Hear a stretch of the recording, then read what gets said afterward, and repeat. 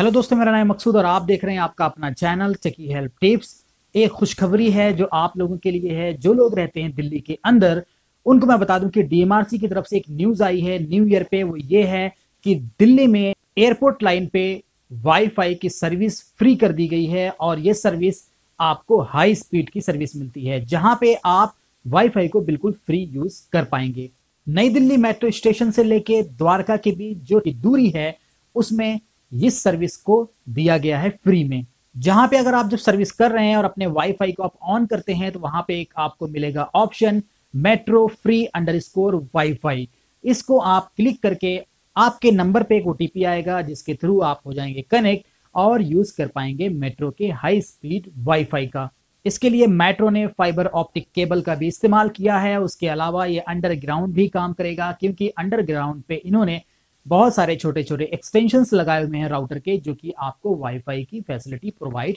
करता है। ये तो मेरे हिसाब से रही काफ़ी अच्छी इंफॉर्मेशन और काफ़ी अच्छा अपडेट डीएमआरसी की तरफ़ से, क्योंकि कई बार ऐसा होता है कि जब हम अंडरग्राउंड में सफ़र करते हैं तो हमारे मोबाइल ऑपरेटर का जो नेटवर्क है, वो काम नहीं करता है, जिससे कि हम इंटरनेट का इस्तेमाल नहीं कर पाते हैं। लेकिन इस सर्विस के आने की वजह से आप लोग बहुत आसानी के साथ इस्तेमाल कर पाएँगे इंटरनेट की सर्विस और आप अगर कोई इंपॉर्टेंट मैसेज या कोई इंपॉर्टेंट बैंक ट्रांजेक्शन या इस तरीके से किसी भी अदर चीज़ की इंफॉर्मेशन आप गेट करना चाहेंगे या फिर ट्रांसफ़र करना चाहेंगे तो आप आसानी के साथ कर पाएँगे। तो ये मेरा वीडियो आपको कैसा लगा आप मुझे ज़रूर बताएँ और मेरे वीडियो को लाइक करना बिल्कुल भूलें।